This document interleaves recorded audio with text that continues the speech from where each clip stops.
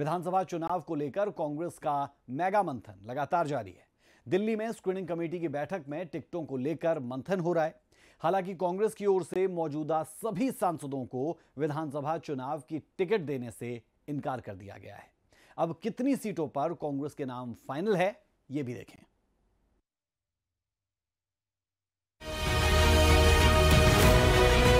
हरियाणा में सियासी सरगर्मियाँ जोरों पर हैं। हरियाणा विधानसभा चुनाव की तारीखें जितना नज़दीक आती जा रही हैं, उतना ही मंथन भी गहन होता जा रहा है। किस उम्मीदवार को चुनावी मैदान में उतारना है उस पर सभी दलों का मंथन जारी है।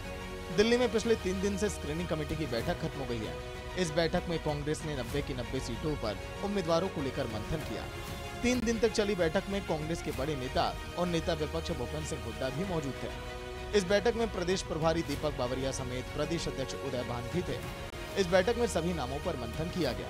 कांग्रेस का टिकटों पर मंथन पूरा हो चुका है। तीन दिन तक चली स्क्रीनिंग कमेटी की बैठक में नब्बे की नब्बे सीटों पर उम्मीदवारों के नामों पर चर्चा की गई। शनिवार को कांग्रेस फाइनल लिस्ट बनाकर पैनल के लिए भेज देगी ये जानकारी खुद प्रदेश प्रभारी दीपक बावरिया ने दी। आज पूरी चर्चा हो गई है। सहमति का सवाल नहीं है। पैनल्स बने हुए कल जो है उसको फिर से क्रिस्टलाइज करेंगे।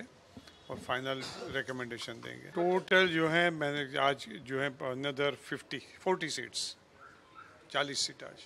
यानी कि टोटल पूरा आज खत्म हो गया।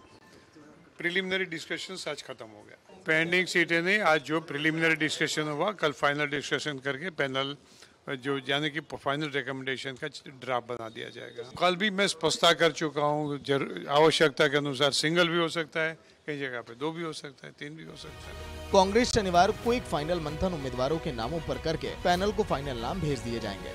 इससे पहले कांग्रेस की बैठक में किसी भी सांसद का विधानसभा का टिकट देने से इनकार किया गया था। जो भी सांसद कांग्रेस की टिकट पर विधानसभा चुनाव लड़ने का इच्छुक होगा, उसको पार्टी हाईकमान से इजाज़त भी लेनी होगी। इतना ही नहीं, कांग्रेस इस चुनाव में बिना सेनापति के मैदान में उतरेगी।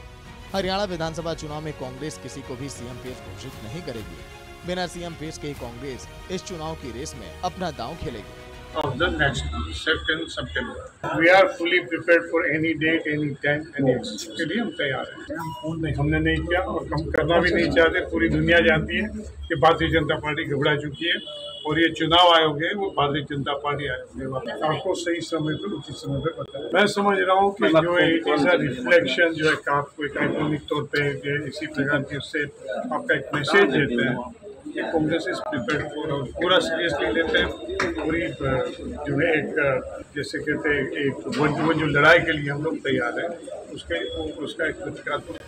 शनिवार को दिल्ली में कांग्रेस की सीसी की अहम बैठक होने जा रही है, जिसमें हरियाणा कांग्रेस को उम्मीदवारों के नाम पर फाइनल मुहर लग जाएगी। कांग्रेस की ओर से साफ़ किया गया कि आवश्यकता के आधार पर उम्मीदवारों की लिस्ट जारी की जाएगी। एक साथ भी उम्मीदवारों का ऐलान किया जा सकता है, और हिस्सों में भी। अब देखना होगा कि कांग्रेस किस उम्मीदवार को कहाँ से चुनावी रेस में उतारती है। दिल्ली से विनर सिंह की रिपोर्ट, सूर्या समाचार।